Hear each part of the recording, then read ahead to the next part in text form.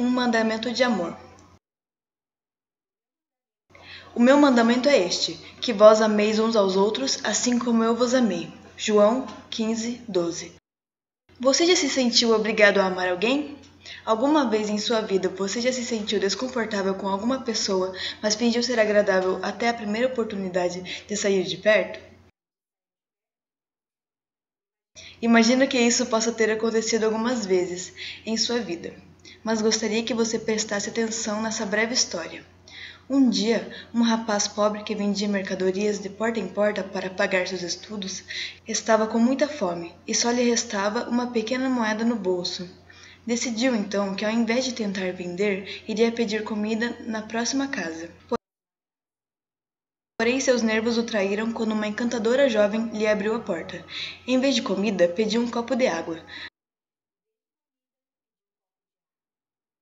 A mulher percebeu que estava com fome e lhe deu um grande copo de leite. Ele bebeu devagar e depois lhe perguntou: Quanto lhe devo? Não me deve nada, respondeu ela, e continuou: Minha mãe sempre nos ensinou a ajudar as pessoas. Pois te agradeço de todo o coração, a você e a sua mãe. O rapaz saiu daquela casa, não só satisfeito fisicamente, mas também com sua fé renovada em Deus e nos homens. Ele já havia resolvido abandonar os estudos devido às dificuldades financeiras que estava passando. Mas aquele gesto de bondade o fortaleceu. Anos depois, essa jovem mulher ficou gravemente doente. Os médicos locais estavam confusos. Finalmente, a enviaram à cidade grande para se tratar. O médico de plantão naquele dia era o Dr.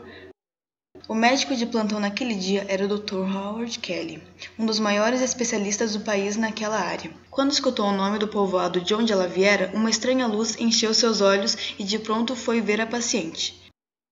Reconheceu-a imediatamente e determinou-se a fazer o melhor para salvar a sua vida, passando a dedicar-lhe atenção especial. Contudo, nada lhe disse sobre o primeiro encontro que tiveram no passado. Depois de uma terrível batalha, eles finalmente venceram aquela enfermidade. Ao receber alta, ela teve medo de ver a conta do hospital, porque imaginava que levaria o resto da sua vida para pagar por aquele tratamento tão caro.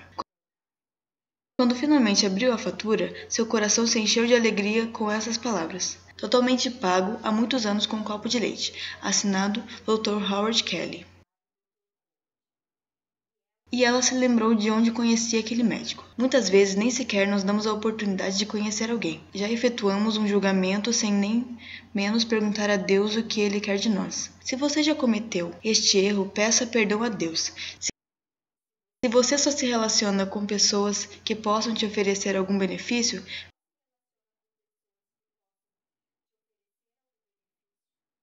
Peça perdão a Deus. Esteja atento à vontade de Deus para a sua vida. Esteja pronto para amar o próximo a todo instante.